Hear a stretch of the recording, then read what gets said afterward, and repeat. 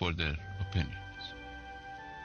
The government has a plan to improve, enhance human rights in the country, as every government should.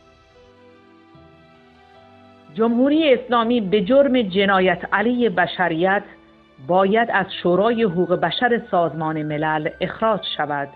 I'm a human rights professor. بذارید با هم رو راست باشیم. من پروفسور حقوق بشر هستم. بیشتر از سی ساله که دارم حقوق بشر درس میدم.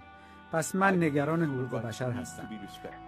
جهان متمدن چهار دهه سرکوب و جنایات سیستماتیک حکومت اسلامی ایران در ابتدایی ترین مبانی آزادی های اجتماعی را به خوبی می شناسد.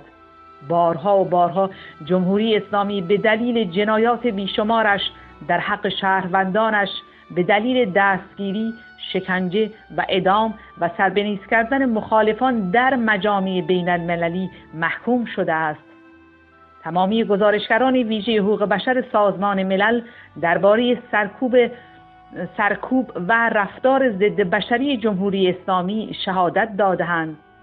دهها نهاد و اتحادیه معتبر و بین المللی به جمهوری اسلامی برای رفتارهای سرکوبگرانه و ضد بشری آن اختار دادند و آن را در سطح جهان افشا و رسوا کردند.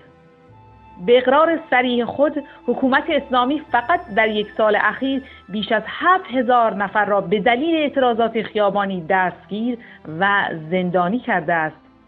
در طی همین یک ماه گذشته رهبران تشکلهای کارگری زنان معلمان دانشجویان نویسندگان رانندگان کامیون وکلای دادگستری فعالین محیط زیست مدافعین حقوق کودکان و به جرم متشکل شدن و اعتراض به فقر و فلاکت و فساد توسط دستگاه امنیتی جمهوری اسلامی ربوده شدند.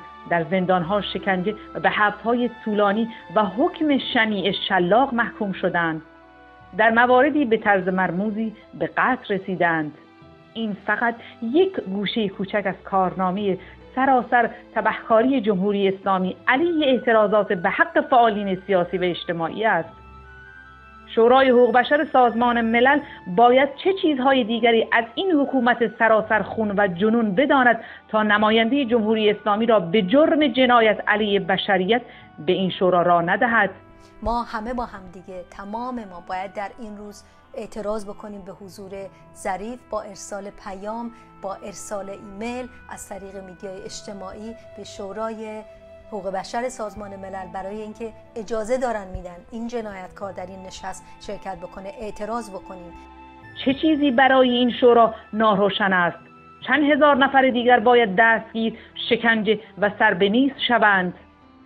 شورای حقوق بشر سازمان ملل با حضور نماینده جمهوری اسلامی و شنیدن دروغهای مشمعز کننده فریبکاری مهندسی شده و کتمان حقایق آشکار دارد خاک به چشم مبارزات مردم ایران می پاشد و عملا مشروعیت خود و اجلاس سالانش را زیر سوال می برد.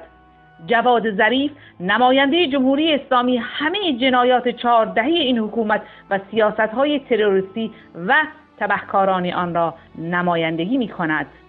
ما از همه مجامع بین المللی به ویژه وکلای جسوری که در این اجلاس حضور دارند مصرانه می‌خواهیم مانع سخنرانی جواد ظریف شوند او باید در پیشگاه مردم متمدن جهان پاسخگوی جنایات بیشمار حکومتی باشد که به عنوان نماینده آن دارد اعتبار و مشروعیت این اجلاس را زیر سوال می‌برد کمیته مبارزه برای آزادی زندانیان سیاسی رسما به ریاست شورای جهانی حقوق بشر سازمان ملل برای شرکت دادن جمهوری اسلامی اعتراض دارد پیش از شروع این اجلاس از همه فعالین سیاسی، اجتماعی، احزاب و سازمانهای مترقی و پیشرو، اتحادیه و تشکلهای کارگری، زنان، معلمان و غیره می‌خواهیم با اقدامات اعتراضی در سطح بین المللی مانع حضور نماینده جمهوری اسلامی شوند.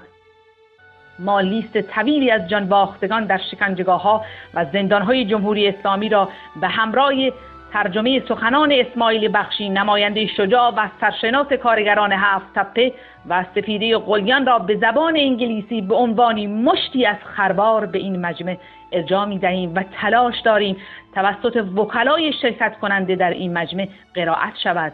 یک بار دیگر تأکید می کنیم شورای حقوق بشر سازمان ملل در اولین اقدام باید جمهوری اسلامی را محکوم کند و به همین دلیل جمهوری اسلامی باید از این مجمع اخراج گردد و کیفرخواست مردم ایران علیه جمهوری اسلامی و جنایات بیشمارش علیه بشریت باید در این اجلاس به صورت علنی قرائت گردد. کمیته مبارزه برای آزادی زندانیان سیاسی.